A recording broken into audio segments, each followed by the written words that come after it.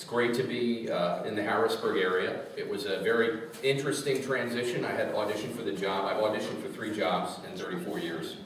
Um, no, actually four.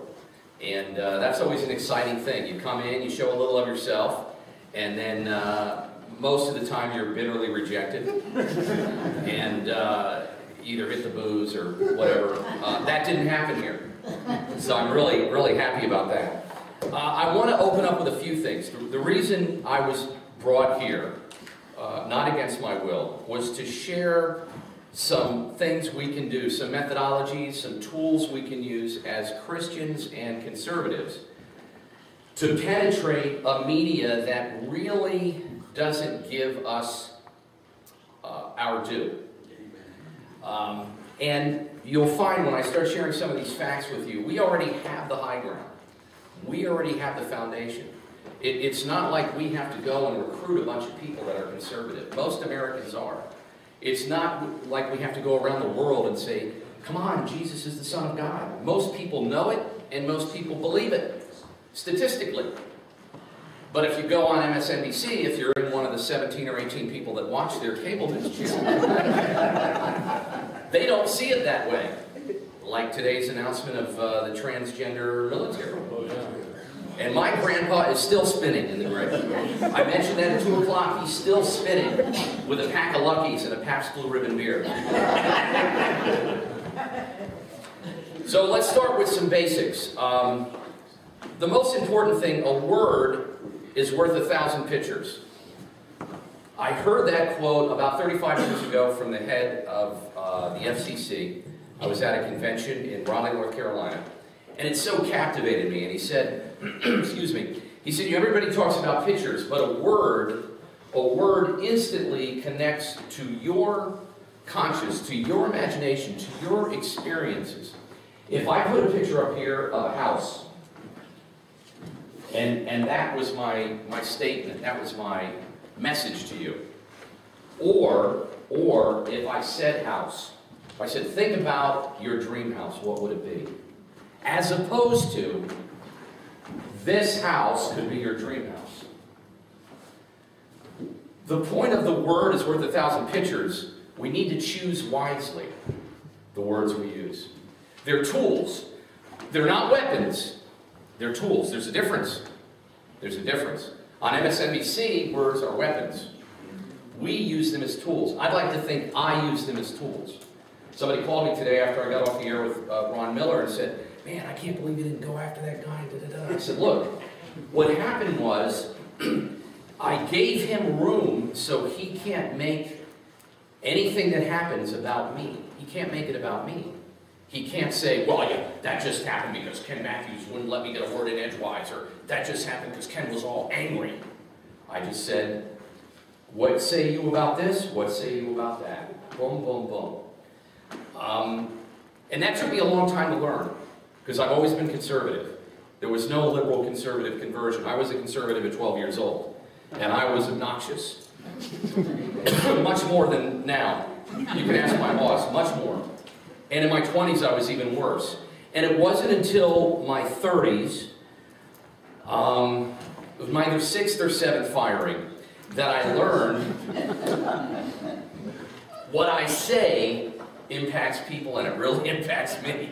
Uh, so choose your words wisely.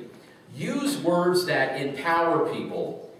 And what we need to do as Christians and as conservatives, we never want to give up our, don't give up your values, don't give up your position. I'm not asking anybody to, like, I didn't give up my values or my passions as a Christian and a conservative. But what I did do is I gave up a lot of the baggage that came with the rejection.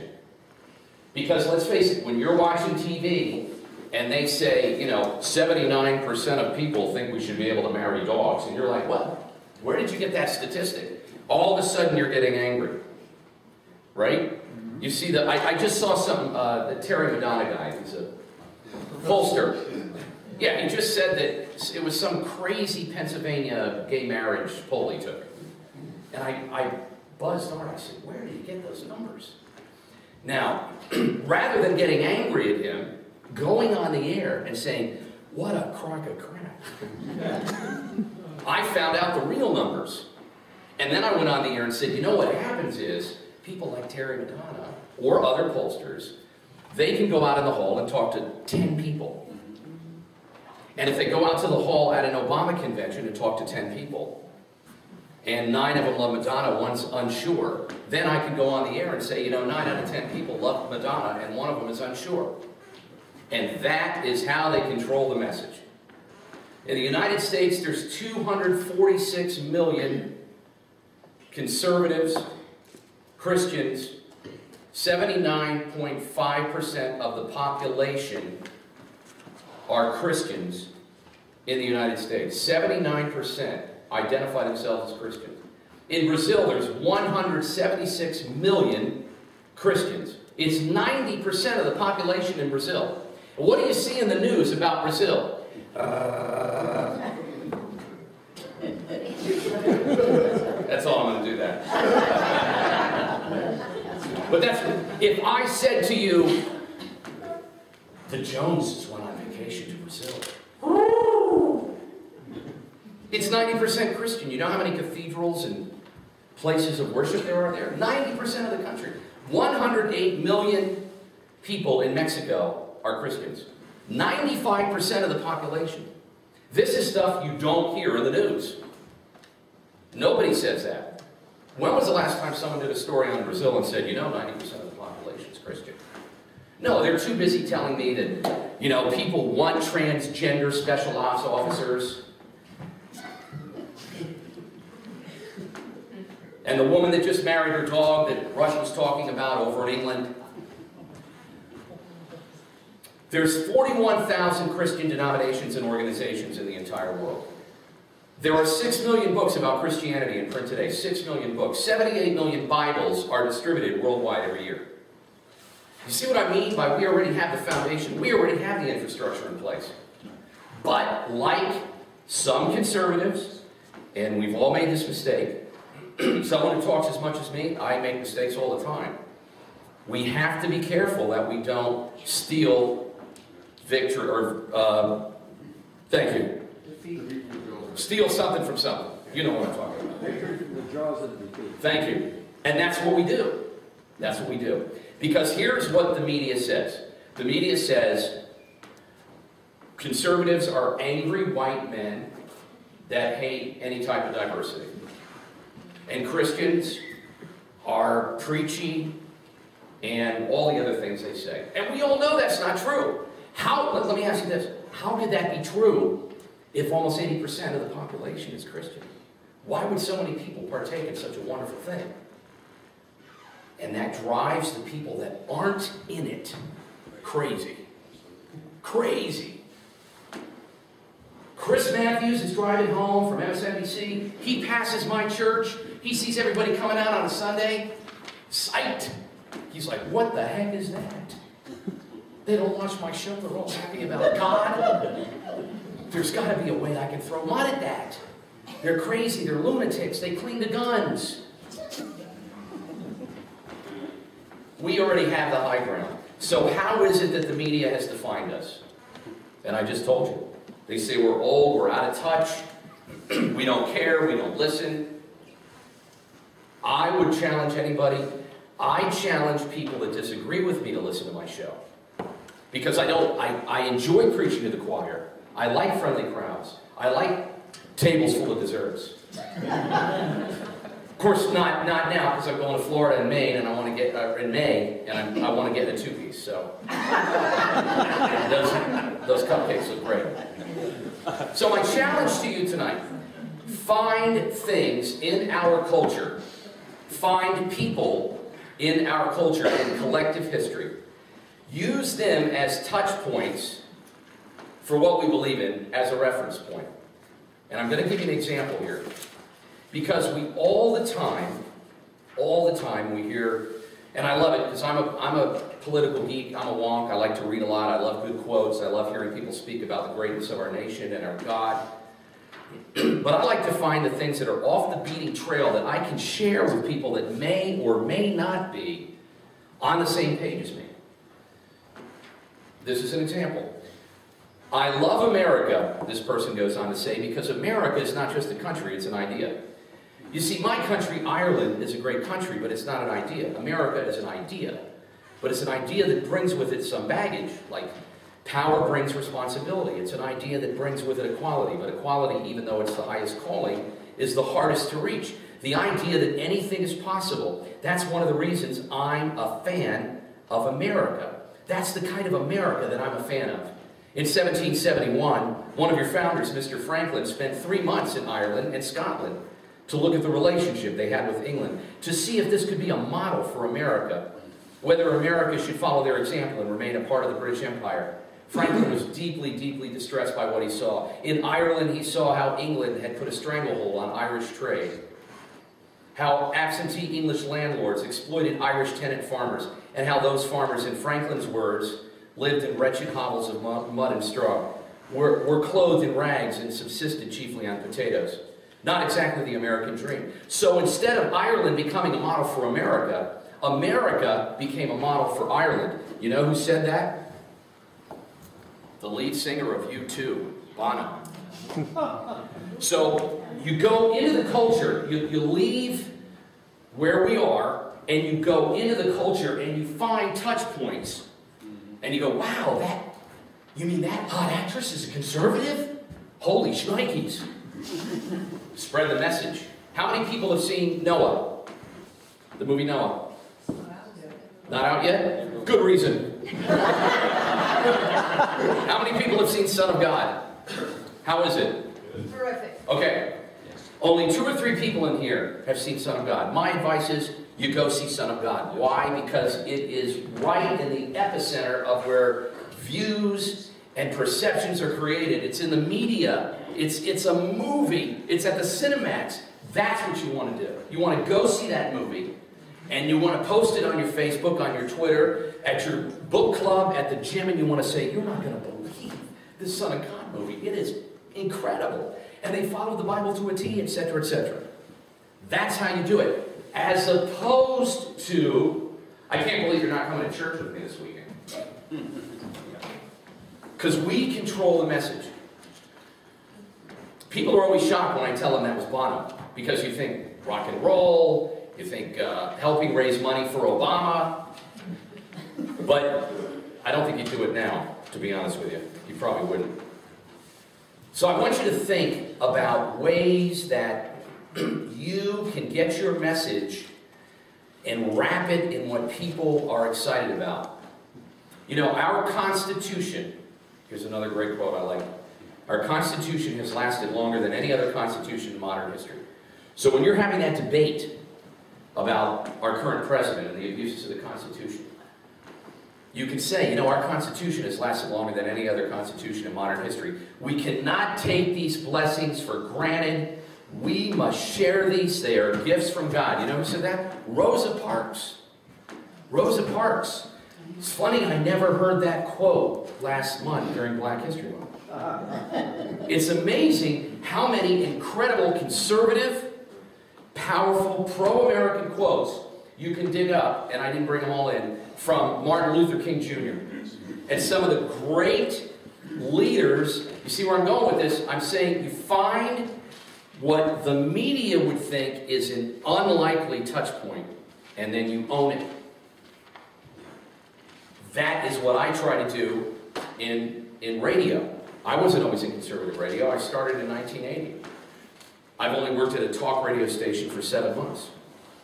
But I've always thought, you know what people think about people in media? They think this, this, and this. Those three things I'm not going to be. And you know what people think about uh, conserv uh, conservative Christians? I'm not going to be what Chris Matthews says I have to be. I'm not going to be that way. I'm going to be fun. I always joke with Art. I said, I, I put the fun in anger. Don't take the bait. People want you to take the bait. So think of ways Think of ways to engage people into a questioning process. Not judgment, And I know judgment's a component of Christianity, but if you want people to see what you're talking about, you have to do it on their stage. Now, briefly, we all know what 666 means, right? It's the number of the beast, right? 668 is the next door neighbor of the beast. 666.000 is a high precision beast. And, and 1-900 666 is a number if you want to call and talk one-on-one with the beast live. Just want to put that out there. Oh, come on, one more. What do you get when you cross a Lutheran and a Buddhist? Someone who sits up all night worrying about nothing.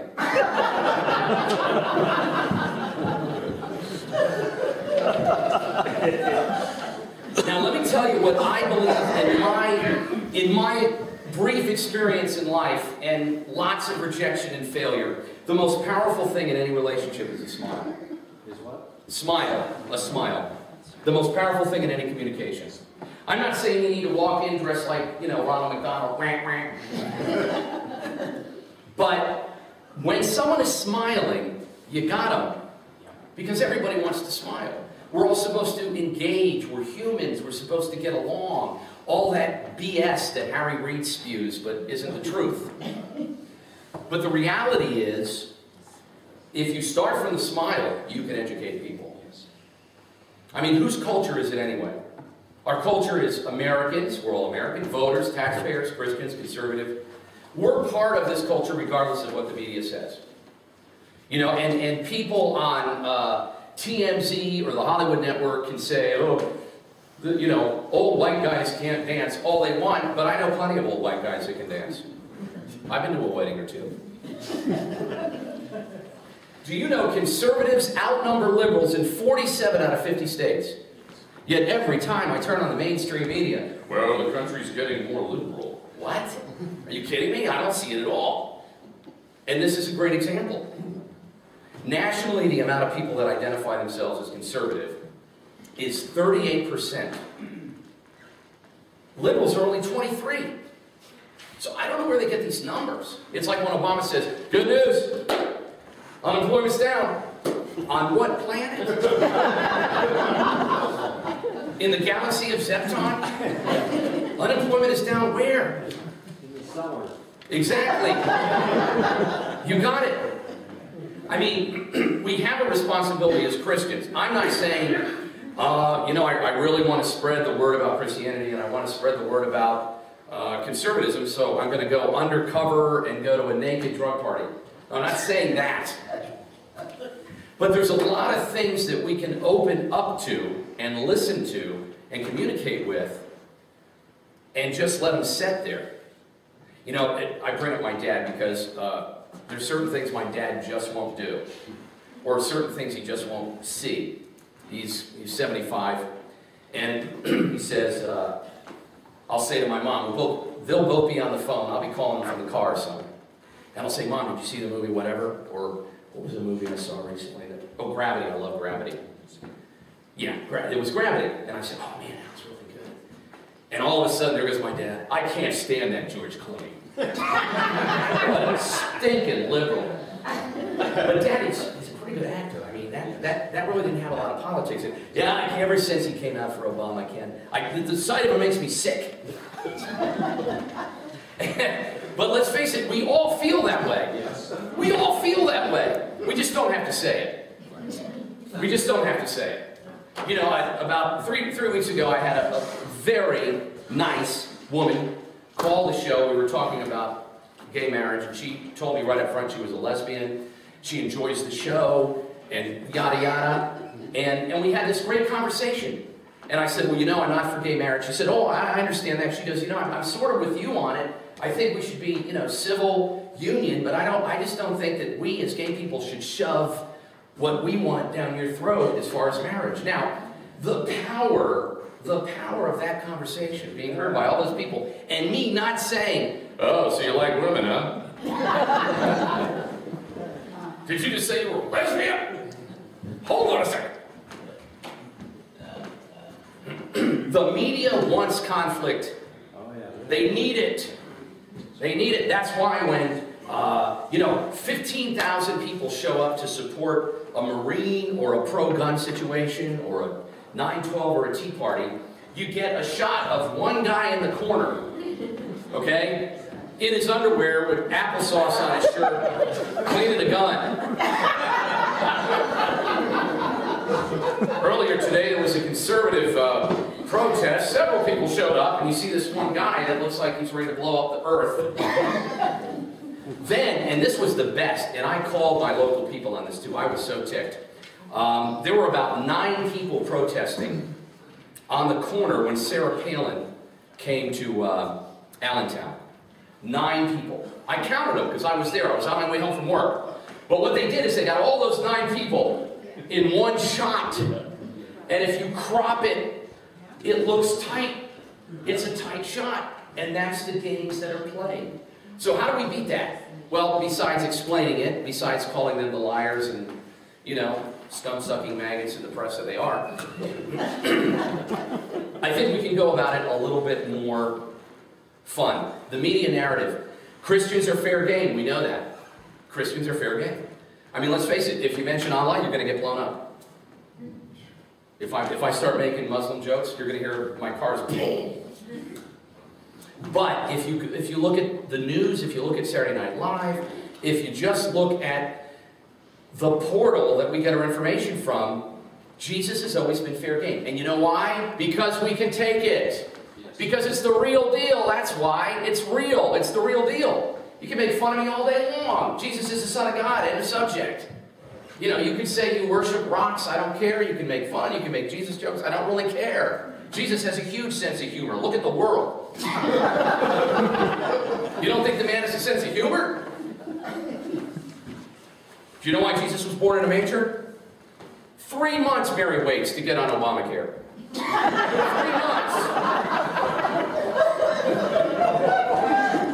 She said, Joseph, this is, I'm done. We're having it in the manger. Meh, And then, then you get the ignorant comparisons of Christianity. Well, you know, uh, Christianity is just as bad as radical Islam, and you know, terrorist groups, Christian. Oh, God, we have a whole generation. They got their they got their healthcare information from Michael Moore. They got their their history about John F. Kennedy from uh, what's his name, Oliver Stone. It's a whole generation. Women in Christianity. What, what religion empowers women more than Christianity? There isn't one. There isn't one. What political party empowers women and celebrates women more than conservatism? There isn't one. So, my advice to you is severalfold. We want to get into the culture. We don't want to sell out, but we certainly can listen more. And trust me, the smile thing works. You know, I, uh, I'm down to like three liberal friends. but it's still a pretty good relationship. And it's the, and it's the smile that does it. There's a, there's a, a woman in my neighborhood. She's a Brit. And her and her husband are a lovely couple. And I had no idea until we started talking one day how much she despised Obama. I mean, I was when I heard that, I was like, "Whoa, this is great!" Oh gosh, come on, haters! but she loves Hillary, so I'm split. I'm split right down the middle. I don't, I don't know whether to let the air out of tire. Anger house. I get, I'm so torn. But we have great conversations. And she says things like this, and I respect her. I don't roll my eyes and go, oh, socialized medicine again. She says, you know, in England, I said, well, you have to understand, in England, first of all, when everybody talks about socialized medicine, I, I, this is not an Obamacare lecture, so I'll get back on point in a minute, but people compare things that should not be compared. They don't compare apples and oranges. They compare like a pea and a watermelon. and that's what they do with Obamacare. Is that me? Or is that you? Oh, it's probably you. I think it's God. I did go over the joke. Okay. Maybe I should, hello? So, back into the culture we go. Who does the media celebrate? The cheater, the dysfunctional, the criminal, the falling apart. Oh my gosh, we've got uh, the mother cheating with seven husbands, she has 14 kids, and it's great, she's in a limo, and oh, what a great show that'll be.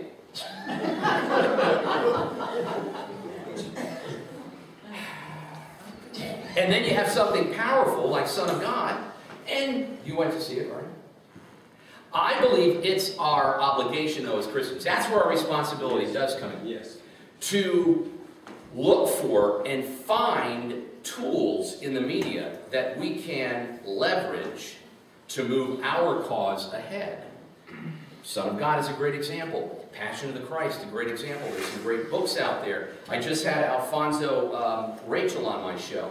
I don't know if you had a chance to hear him. 41-year-old black guy living in L.A., very conservative. And what did he say? He, what did he say? He said this, and it, it was an astute observation by someone who really knows his stuff. He said, Ken, just because people are really angry at Obama right now, and they're, and they're disillusioned with the left, doesn't mean they're going to come running over to the right.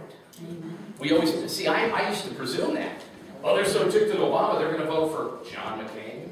Come on. I'm going to vote for the woman at Wawa. She has a better platform than John McCain and a better memory. Quality programming sells. When you find it, buy it. Buy Steve's book. I bought two copies of Steve's book. Um, Rush Limbaugh's book. I bought the first book. The second one just came out for kids.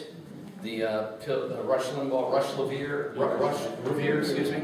I bought it, I read it, I bought a copy for each of my sons. I said, you're going to read this. you're going to read this. You're going to start, you're going to read a chapter a day, and then we're going to talk about it. Well, my oldest son started reading it, couldn't put, couldn't put it down. My youngest son loves it, and every morning at breakfast I say, anything pop out in the book? Oh, he goes, yeah, there was this one scene where the, the, uh, the guy, the horse says, you know, maybe I'll be a DJ someday. And he just thought that was hysterical. So the point is, the, when, in other words, instead of focusing on Chris Matthews, who has 11 listeners, and, and CBS, who's losing all their quality journalists, most recently Sharyl Attkisson. I'm a huge fan of Cheryl. If you, if you don't know, she was she had her phones tapped during the NSA thing. She was targeted when she went after the Benghazi story, and she finally said, look, I can't deal with this, because she wanted to really rattle the IRS cages. So this is a good thing. So find the quality programming, find the quality books, the touch points, I call them touch points in the media. And here's a little, I guess you call it, what do you call it when you have letters and they spell something out? Acrostic. Acrostic. Thank you, Dunker. Listen to others' views every day. What does it spell? L-O-V-E. I just made that up today. Thank you. I did. I said, you know, I got to tie this into love because there's going to be Christians there. I, I need to bring the love. But it's true. It's true. Just because you listen to someone else's view doesn't mean you have to agree with it. See, I think sometimes, for example, people like my dad, people like my dad think sometimes that if I say, hey, dad, you know, this, this, this, he thinks that he's got to sign on to it. You don't have to sign on to it. When that woman called me and she said, you know, I'm a lesbian, but I like your show. I'm for civil unions, but I agree with you that the gay community sometimes is way over the top and, you know, they're less than 5% of the population, yet they they monopolized the media, and she called them, what did she call them? Um, extremists, gay extremists, she said. And she said, that gives us a bad name. So I listened to her, and I realized, you know, that's right. Most of the gay people I know do not march in a parade with wings on and a G-string. They don't. They don't. But the media handpicks what they want to see. Oh, the media handpicks it. Think about it. Where do you get your news? Where do you get your news and information? Now there's the internet, but where do you get it? There's a lot of people that get their news from one or two sources, and that's it. And if you say to them, you know, there's a great book out about, uh, for example, there's a great book called Extortion. Steve, Steve and I read that book. Great book, great book about the left and the right and how they raise money and manipulate the playing field financially. But the facts and figures are great. Always take facts to a fight. Some more advice. Bring the facts to the fight. Don't show up to the fight. Your, your response cannot be, nah-uh, Pinko Kami. that cannot be your response. You have to say, you know, sure. So, so you're a single mom, okay, and then you got the two kids. Now, what happens if the kids go to school and you have to create an environment where they're thinking, where they're thinking, questions, laughter, whatever it may be. I told Steve this story off the air the other day. I was, uh, about three weeks ago, I was at Wawa getting some coffee and Governor Corbett was here, totally coincidentally. And there was a state cop standing out front, I was getting coffee. I saw him, we said hello. He met some people, some people took some pictures. About three weeks later, I went back, um, and I saw the manager there, very nice lady, probably in her 40s. She manages the, uh, it's not the Wawa, it's the Turkey Hill crossing station. It's a Turkey Hill. And I said, so has the governor been back in? And she said, Ed Rendell? now,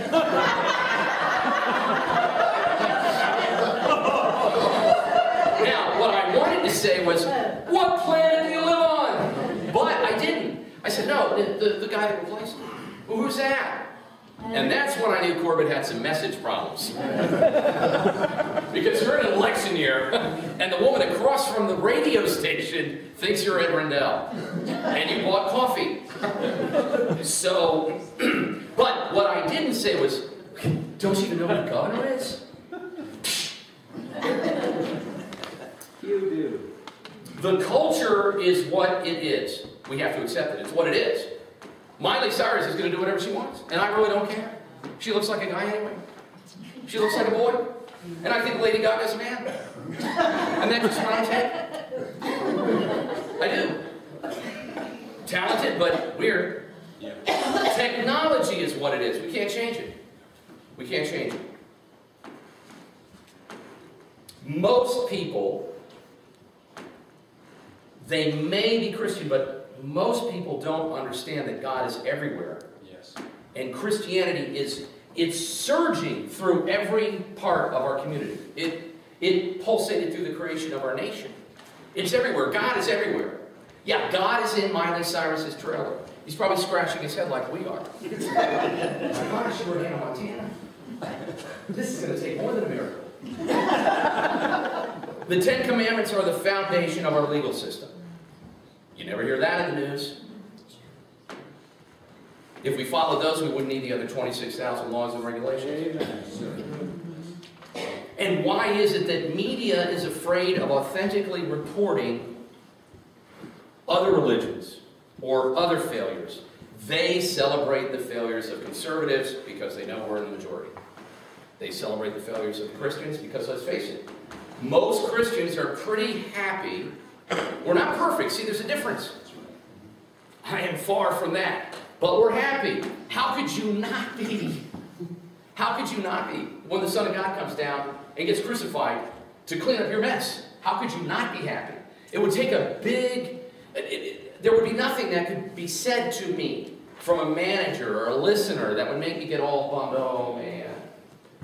Because inside I'm like, Jesus, see you.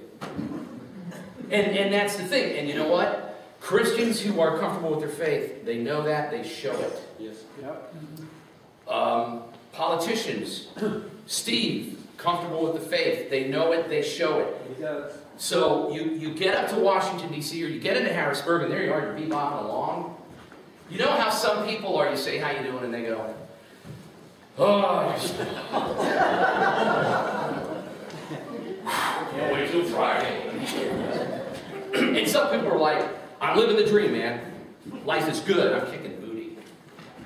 You don't have to say booty. so what happens is there's a lack of authentic reporting about Christians, about conservatives, about everything that's going on, and that further complicates the misunderstanding of the Constitution, of the relationship between the church and state. And before you know it, Rosie O'Donnell's saying to uh, Oprah Winfrey and Whoopi Goldberg, you know, I'm, I'm really concerned about this constitutional crisis. what? People have given those people credibility. I knew we were in trouble when I saw an 8x10 glossy in a friend's house of Barack Obama sitting in the middle of all the women in, with the view. I said, we are in trouble. There's been a shift in Christian values. This happens because it's easier. It's easier. Nobody wants to take the risk. Nobody wants to take a risk if there's reporting like a talk radio show guy would take. You know, like every time I, it's tragic when people get hurt. It's tragic. But if someone breaks into your house and you defend yourself, and God forbid they lose their life, I celebrate the fact that you have the right to defend yourself and that that might be a deterrent to others. My message is not, we need to sue this guy. My message is, what a great message, kids. See what can happen when you break into Mr. Man's house? You see what can happen, kids? The media is afraid to do that. Christianity can be inconvenient, and we see this in the media and Hollywood. We see how quickly people throw it off. We see how quickly, oh, what's up with the uh, American flag pin that you're wearing all the time? Oh, okay, I'll take it off. I don't want to, I don't want to make you uncomfortable. I don't want to make you uncomfortable in the greatest country on earth. It's about advertising and revenue, but here's the thing. Here's the thing. Whether it's political donors, media, advertisers, athletes, sponsors, what is the message that always wins out? Good over bad. It always wins out. No matter how frustrated you get by it, it always wins out. Why? Because of God, you know. That's why it always wins out. And why wouldn't it win out in Washington? Why wouldn't it win out in Harrisburg?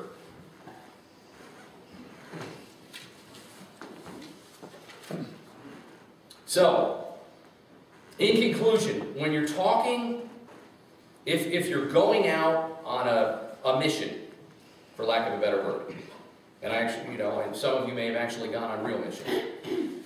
Um, remember this, it's up to us to change the narrative. And every day we have a chance to change. Every day you have a chance to change the narrative. Every time I am um, in, con in contact with any human being, and, and I love uh, seeing youth that have their act together.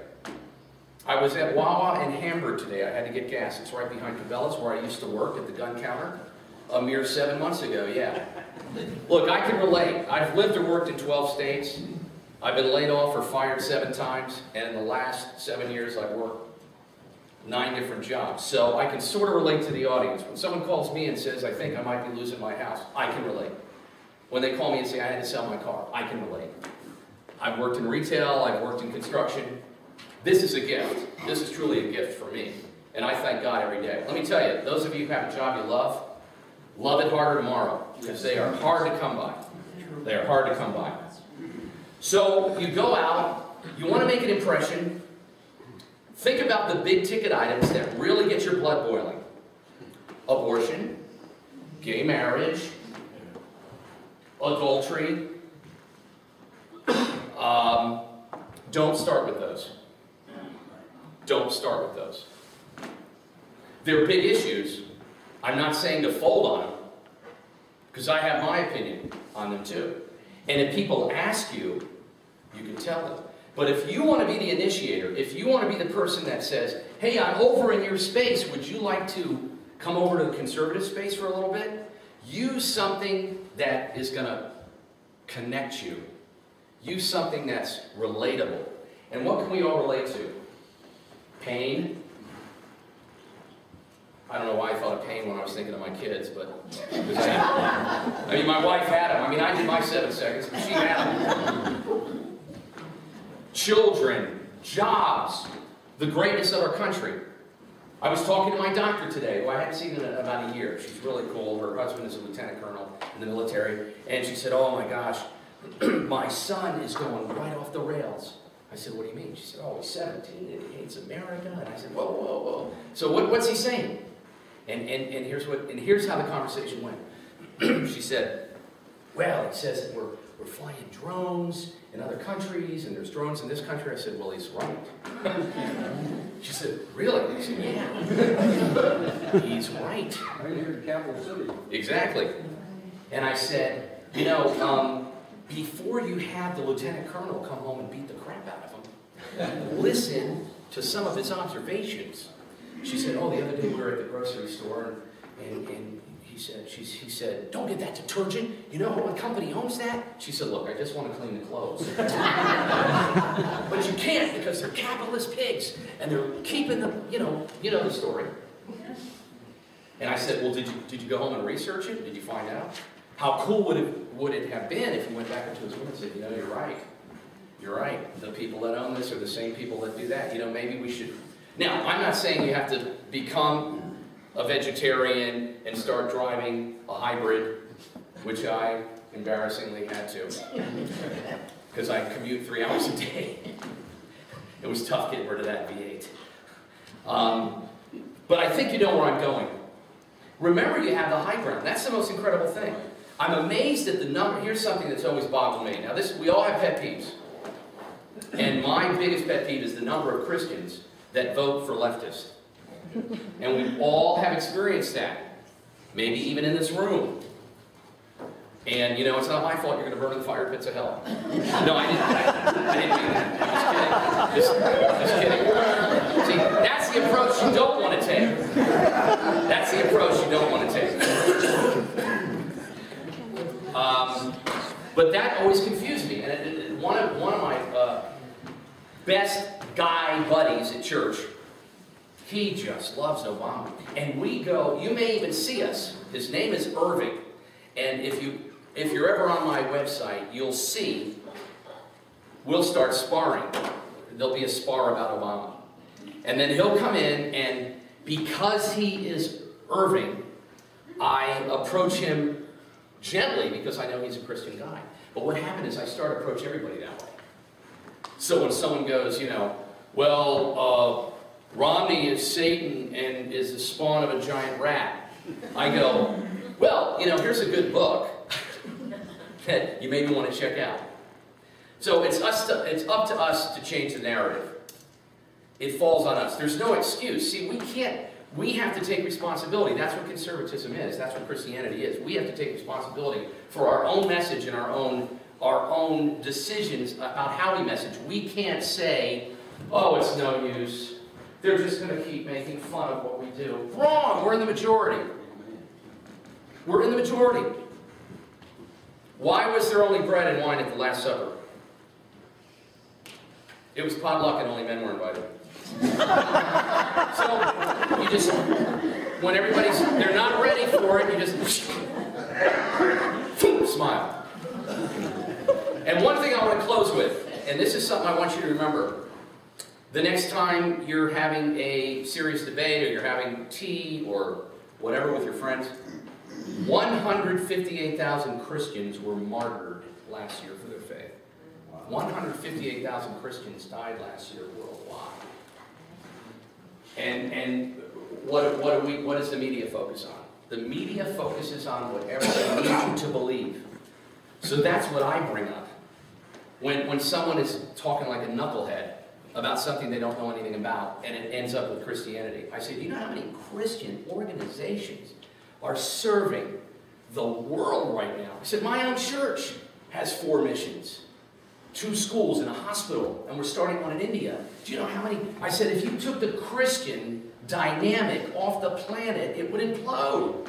Why? Because Jesus is the Son of God. It's that simple.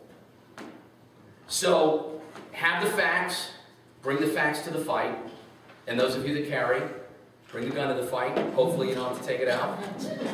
Um, that's about a wrap. I know it was a bit unorthodox, but that was a real pleasure. If you have any questions, I'd be more than happy to. You know.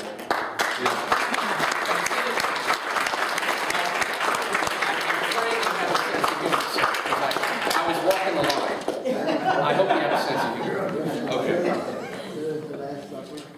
In a, in a way, in a way, I'm glad that it wasn't in the church, because then, then, it would then I would have really crossed the line. Yes, sir. I, I have two books that I would like to mention that people should, should need to read, maybe you have.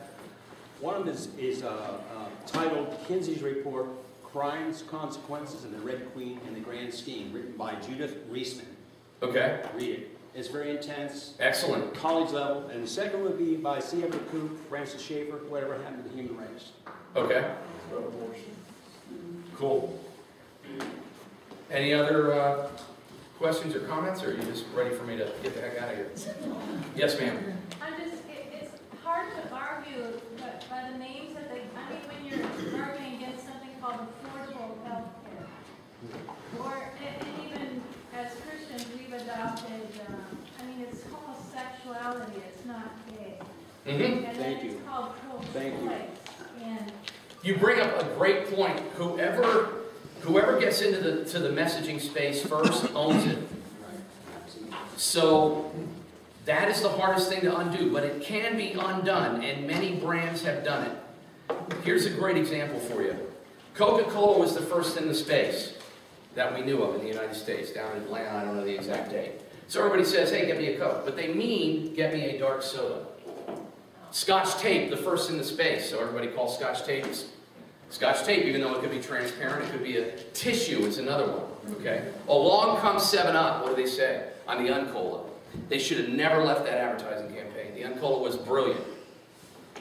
Coming out of the 50s, who owned the space? Big, giant cars, muscle, the great cars that my dad and I still love.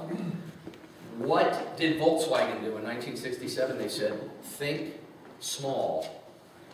They shifted the space. So that's what you do, you shift the space. Someone says, well, you know, the Obamacare, and, you know, it's, it's so crazy that they say it's affordable because I have not met anyone whose, whose uh, policy is cheaper. It's funny that they call it affordable. It's You the know? unaffordable care. Yeah, so you have to, you have to rebrand it. It's so hard not to get upset. I know it is, because especially if you're, if you're, if, not only if you're losing the argument, but if somebody, if the person that is spewing the misinformation is admired, like, you know, in the media, or even in your neighborhood, it's so hard not to, and that's where I have to do my best, and that's where my wife always says, please, don't talk politics. Because we know some very wonderful people, some very gracious people. They treat our kids like gold, and we have their kids over and stuff. Now, one thing that was really cool, and uh, this woman, her son was spending the night at my son's house for the first time. And she said to my wife, and me, she said, I understand you have guns in the house. I said, yes, we do, but they're all secure, they're in gun safe. I said, your son is safer in my house than any other place on earth. And she said, well, thank you, that makes me feel better. Now, 15 years ago, I would have said, you got a problem with that? Let's do it. See? When somebody gives you, when someone gives you an opening, take the opening. I know exactly what you just said, like the gay thing. And for example, I never call abortion, if you listen to the show, I don't call it abortion, I call it killing a baby. Exactly. You know, and, that, and that's what I say. I, I say I'm. I think women should have the right to choose their gun, their husband, their job. I'm not a big fan of women women killing babies, though, but it makes a great bumper sticker. And that's what they've done. They've hijacked it because if the truth came out, holy moly, my gosh, if if some of those horrible pictures of the babies and stuff, if if that ever became mainstream, if that ever, you know, it's funny what ends up in the classroom. You know, My Two Daddies, the book, ends up in the classroom, but you never see a, a broken little child at, at five months or four months. Yes. I have to say, I was uh, listening when the interview process took place for your job. And when Bruce Bond came on, I used to listen to him way back when, and he was on, I thought, oh, please, dear Lord, not let him. Just- I have to And what you're saying right now is the thing that I've always admired since I've been listening to you, admire you for. because Thank you. You are very, very talented in the way you deal with people who have opposing views. You help to enlighten them instead of shut the conversation down. Like, Thank you. You know, sometimes you meet people that just tick you off and you can, you can tick them off, the easiest thing to do is just laugh at them. But you do want to challenge people. One of, I had a friend for quite a while who was totally left-wing upstate liberal, upstate Mhm. New York liberal. We were in the car arguing and I thought, God, if anybody could hear this, I think we are insane. But I said, we were going back and forth, are we a democracy? No, she had gone to college later in her life. I Mhm. went when I was right out of high school, and we were going back and forth, Republic, democracy, and I brought up Ben Franklin and what he said, we're a republic if you can keep it, the battle hymn of the republic. Mhm. And she shut me down every time. What I got her with was, so what is a republic? And she, she stopped. She didn't know what it was. I said, if you don't know what it is, how do you know we're not one?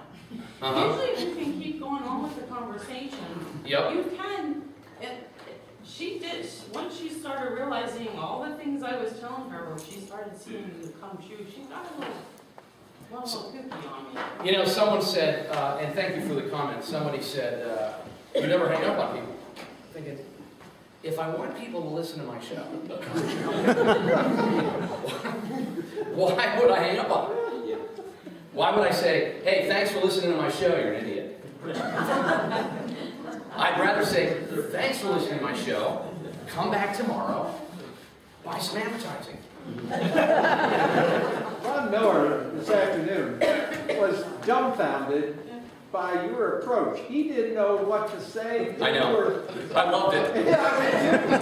Yeah, He was, ex- he was expecting, and the, the, the, uh, this is a term, anger. He was expecting the angry, the angry white guy is, and you hear that all the time in the media. Chris Matthews must say that five times a year. You know, they're just angry white men. They're racist. They're angry white men. They're anti-women. You know? The, and like I tell people on the air, and this is another example, they took that, uh, I didn't get your name, but they took the war on women thing, which is a joke. Which is, a, how can the party of Bill Clinton say that conservatives have a war on women? It's the party of Bill Clinton. It's the party of Anthony Weiner, which is the greatest name ever for what he did. When that happened, I said, thank goodness I'm in the media. My Ron. Miller cannot spell conservative. He what now? He cannot spell the word conservative. He wouldn't know a conservative Oh, if it bumped into it. yes, I know. And that, I, I think, because somebody called, uh, someone called up and, and like they said, they wanted me to go after him, but I thought, you know what? Why? You guys can, you know, why give him the out? Yeah. Why give him, why give him the opportunity? Why give one listener in Harrisburg the opportunity to say, oh, what a right-wing jerk, he treated Ron Miller like crap. Yeah. Why give him the opportunity? Why? I think, I do think the man lied to me a few times, I think the audience knows it. Mm-hmm. You know, believe me, I think people may call him a liar at the polls. He didn't need me to do it. We said about bringing the facts. I mean, if you have the facts, you don't need to get upset or angry. I mean, we talk about the war on women. Uh, it was in New York City, 60, 60 or sixty-five percent of the abortions are- in the black community. I know. Now, that's like self-genocide, and statistically, half of them are women. You go down to Mississippi, the same thing on abortion. It's, you know, it's self-genocide. And, you know, the fact that, people still don't believe me when I tell them that Martin Luther King was a Republican. Mhm. And, and maybe like. There's some great, great quotes from Martin Luther King, by the way, and, and um, anytime you can juxtaposition what they think is going to happen with what the truth is in an entertaining way, whether it's a Bono quote, whether it's, um, I, I go to a church that's extremely diverse, extremely. And um, in fact, I would say seriously, I'm probably a minority there some Sundays in this, in, in this congregation. But I love saying to people, um, hey, uh, hey Jackie, um, under what president were more black small businesses created? Bill Clinton. No, it's Ronald Reagan. Ronald Reagan. And, and that's all you need. That's, that's little, little tidbits like that. Yes, sir. I was going to say, you know, I, I, I agree with your idea about answering questions, being, you know, being able to respond to them, but, but God's message and, and God's uh, message to the culture is a, is a robust and a, it's, it's, it's a message that, that is moving and can't be stopped like Aslan Lion and uh, Aslan and said Aslan's on the move. And Jesus is on the move and, and, and his, his principles and his power and his love for the culture is on the move. So we're not simply to defend when they assert a certain thing to be true, like the Germans did in Germany when they would assert the Jews were less than human. Mhm. But we're to propel and to aggressively advance his agenda, his culture. And I think that, I think one of the things that, that has made the talk show host of the nation, the, the brave men and the brave women, Yeah. is that the churches have, have stood down to some degree Mhm. when it was their opportunity to say, Jesus is about a good economy. He knows how to run a family's economy, he knows how to run a personal economy, he knows how to get you out of debt. He knows how to run a nation's economy. What's good for a, for a family works for a nation rather conspicuously. And, and same thing for, for, for relations. You know, laws are, laws are about the, uh, the principles that govern the relationships between men. And so Jesus has something to say about that. He has Mhm. something to say about immigration. He has something to say about having uh, a good tax base and, you know, a strong military, a strong defense. So I think it is the failure of the American church to stand up and assert his kingdom principles, his values, and to, and to leave that to, you know, and by, by default, to leave that to the talk show host of the day, when, when it's really the church, not just the pastors, the Mhm. people that are in the pews too, to assert, because I think in the old days, back, you know, uh, whatever the old days were, it was those who, uh, it, it was the, the parsons, the, the, the pastors who stood and declared to the Mhm. culture the truth. And then it was the, it was the groundswell of opinion that everybody kind of got around and said, you know, that's true. And, you know, there, there are certain truths that are eternally true, certain things are eternally wrong, and we agree with it. But it, it seems now that we're so nice, we're so engaging, we're so reflective, that we aren't asserting with virtue and with nobility. You bring up, you bring up a good point. You see that a lot in some of the newer churches where pastors are quick to accommodate young people and not, um, you know, draw a line of where they should be and, and uh, give them the freedom. I just think that in, in 2014, conservatives and Christianity are, we are, we're on a launch pad. We are set. If we just message correctly, we are set as Obamacare goes off the rails, as people, you know, this is the first time as a nation we've had so many abused constitutional issues in common. You know, if your neighbor isn't upset about the Second Amendment, I'm sure they're upset about the first. If they're not upset about the first being abused, they're abusing the fourth, they're abusing the tenth. There's something for everybody in this administration. Yes, sir. I don't know if you heard today or not, this morning when the guy that took Glenn Beck's place, uh, travels around over the country talking to groups like this.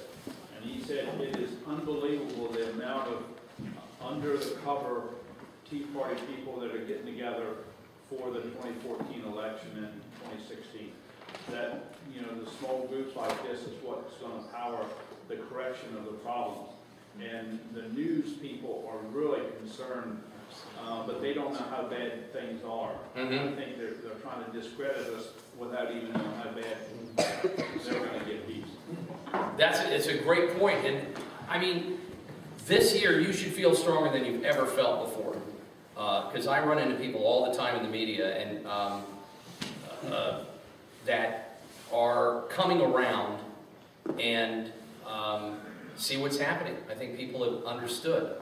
But you've got two messages, the facts are on your side, You've got two great messages, conservatism, it's the, it's the right place to be, it drives our country, we're in the majority, and, and, you know, you can't really beat Jesus. I mean, no one's, no one's been able to do that, but he's not here to run. One of the things that uh, is encouraging that supports your uh, whole premise of being able to change minds is the change in public opinion on abortion. Mhm. Abortions are down significantly, as low as they were in seventy-three, with Roe versus Wade. Not only that, but the public opinion is flipped. And teen pregnancies are down too. Yes. Yes, they are. So it's, it's easy to say, you know, the world's going to hell, and in one sense it is, but on the other hand, that does not mean we can't make a difference. Yes. That's true. And That's that's the point. We need to be wise as serpents and gentle as doves. Mhm. And we can make a difference. And uh, that's, should give us hope that the effort is worth it. Well, and also, uh, put fun into everything. I know that sounds, uh, don't misinterpret that as being lightweight, but um, I, I have a, a commercial that's going to start running next week. It says Ken Matthews makes your conspiracies come true. and and when people are having fun, good things happen. It's just, that's the bottom line. It's, it's just so much easier to, to, to laugh than cry. Wouldn't you agree? Yes, sir. Oh, and one more thing I want to say is, I think, I just told this, these two gentlemen are talking. We, as the people of this country, are supposed to be, and I emailed you a couple of times, or Facebook you, we are supposed to be the watchmen of this country Yes. and our youth. hmm And with God on our side, hey, bring it on. You know, for just as many knuckleheads I see in the media, I see great people. And I, I didn't finish when, when I was coming out of the Wawa, there were two young kids that could have easily been in a, descriptively, they could have been in a, a movie about gangs, okay? And we had the best conversation, we were holding doors for people, we were talking about the weather, and it's because I took the time, and he was probably shocked, to hold the door. And he took the time to say thank you. And then the other guy took the time to say, man, it's cold. I can't believe this. It was 50 degrees the other day. And then I took the time. It was that simple. Because we put the stereotypes away. That's a cliche about stereotypes, but it's true. It's true. Here comes, here comes an old white guy in a suit. Oh, you know it's true. Okay? And um, so I think we can have a lot of fun with it. You, you guys are the best audience, period, I've ever had. I just, I love, I love